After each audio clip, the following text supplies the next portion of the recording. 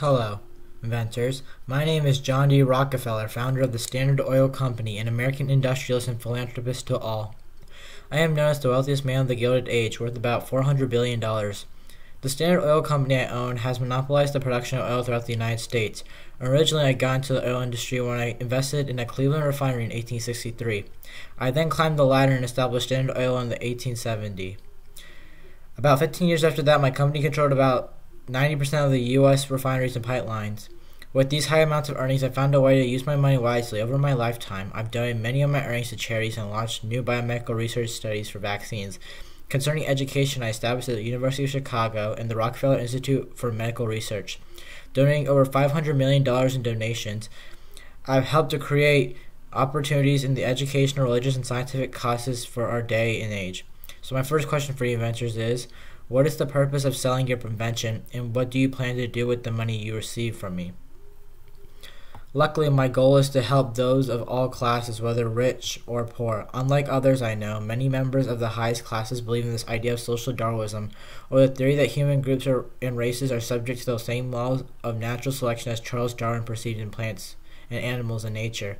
When applying the idea of social Darwinism to the inventions I choose, I want an inventor who is willing to help those in all classes abolish this nonsense of a theory.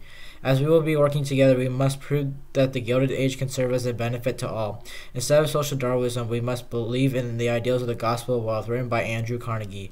In this novel, Carnegie speaks of the idea that the wealth that the wealthy have a moral to help those that were less fortunate. I plan to use your inventions to gain capital in my business and help others with philanthropic deeds, like the gospel of wealth pushes for.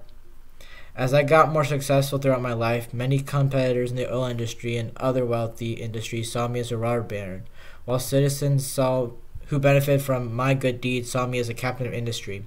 A robber baron is someone who uses ruthless and unscrupulous business tactics to gain wealth, while a captain of industry is a successful businessman who usually gives back to the community. My second question is Despite my reputation, are you willing to see this collaboration through? Between you 14 inventors, there are two products that I believe that will help, will help my company strive even higher and will help the inventors in reaching desirable profits the telephone and barbed wire fence.